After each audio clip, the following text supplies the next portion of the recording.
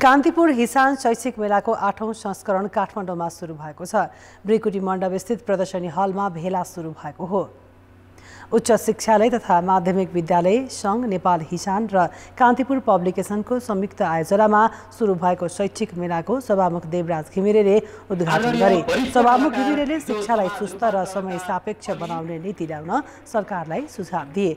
उनले विश्वविद्यालय सम्बन्धी नीति आए पनि उचित कार्यान्वयन हुन नसक्दा प्रभावकारी लाभ लिन नसकिएको बताए। अहिले संसद चलिरहेको छ हामी आशा गरौँ सबै क्षेत्रबाट हामी प्रयत्न गरौँ सहयोग गरौँ। छिटो शिक्षा ऐन अहिलेको सन्दर्भमा ठिक ढङ्गबाट आउन सकोस् ताकि ऐनको अभावमा भइरहेका अप्ठ्याराहरू अन्यलताहरू समयमा हटाउन सकियोस्। एसई र कक्षा बाह्रको परीक्षा दिई नतिजा पर्खेर बसेका विद्यार्थी र उनीहरूका अभिभावकलाई लक्षित गर्दै मेला आयोजना गरिएको हो। कान्तिपुरले जहिले पनि गुणस्तरीय शिक्षा स्पेसली नेपाली शिक्षालाई प्रेरणा दिइरहेको छ र हामी अझ यसमा अवरात्र लाग्नेछौँ र हामीले गर्नुपर्ने सम्पूर्ण कुरा गर्नलाई सहयोग गर्न लाग्नेछौँ किनभने युवा नै देशको भविष्य हो। हिसानका अध्यक्ष रमेश सिलवालले विश्वविद्यालयको शिक्षा अध्ययनका लागि विदेश जान वर्षेनी करिब एक लाखले अनुमति लिने गरेको भन्दै स्वदेशमै उच्च शिक्षाको सहज पहुँच पुर्याउनु पर्ने बताए। नेपालमै नेपाली विद्यार्थीहरू कसरी अड्याउन सक्ने?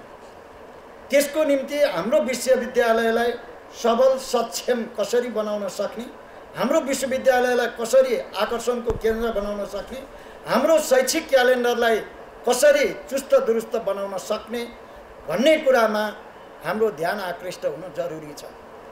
मेलामा एक सयभन्दा बढी शैक्षिक संस्थाका स्टल राखिएको छ। मेला अवलोकन गर्न आउने मध्ये दस हजारलाई छात्रवृत्तिको समेत व्यवस्था गरिएको छ। मेलामा विद्यार्थीले पाएक पर्ने विश्वविद्यालय विद्यालयको शुल्क तथा विषय छनौटका बारेमा एकै ठाउँबाट जानकारी पाउन सक्ने व्यवस्था मिलाइएको छ। धेरै सहज भएको छ। अब घर बसेर बसेर त धेरै कुरा केही थाहा नै हुँदैन अनि गुगलहरूबाट पनि धेरै इन्फर्मेसन पाइन्छ तर जति फिजिकल इन्टरेक्सन हुन्छ त्यति त नलेज अलिक कमै पाइन्छ नि त।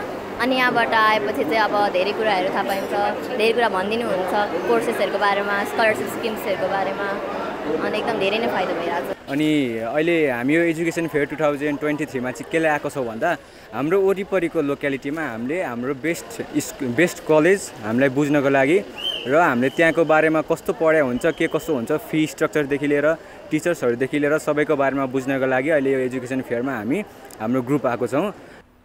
असार तिन गतेसम्म चल्ने मेलामा करिब दुई लाख विद्यार्थी अभिभावक तथा अवलोकनकर्ता सहभागी हुने आयोजकको अपेक्षा छ।